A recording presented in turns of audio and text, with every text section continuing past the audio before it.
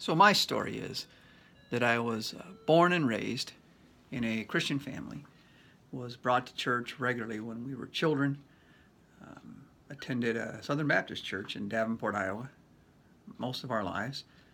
We were there on Sunday morning, we were there on Sunday night, we were there on Wednesday night, we were there for two weeks of vacation Bible school. Um, it was a common place for us to be. It was a place where the groundwork was laid for my life as far as my relationship with God and actually everything else, I guess, too. My story is that being brought up in that home, being brought up in that church, um, I learned from my parents and from my family, extended family, as well as immediate family, uh, the importance of a relationship with God, how that changes how that gives you some grounding, how that gives you some direction, uh, some purpose, some meaning to life. I don't remember a time where I didn't know God. I don't remember a time where I didn't feel like I was in a personal relationship with God.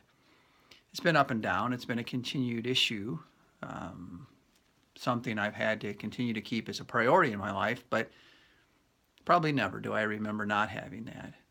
Um, doesn't mean my life has been all that I wanted it to be or perfect, but it's just that personal connection was talked about and modeled and put out there for me from uh, since the beginning of my very life, the beginning that I can remember. The scriptures that we're going to use for Sunday talk about telling our story.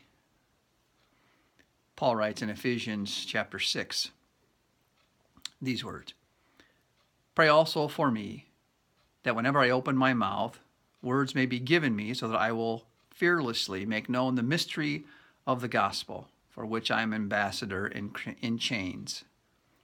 Pray that I may declare it fearlessly as I should. So, my prayer this week is that we would tell our story, our connection to God. Where did it come from? Why do we have it? What does it mean? What difference does it make in my life? What difference could it make in my friend's life or in my neighbor's life? Not beating somebody over the head with a 40 pound family Bible or forcing someone to believe like me or convincing, arguing someone into relationship with God. That's not what I'm talking about. What I'm talking about is declaring fearlessly my story. How did I get connected with God? And what difference can it make for my loved ones or my friends? Amen.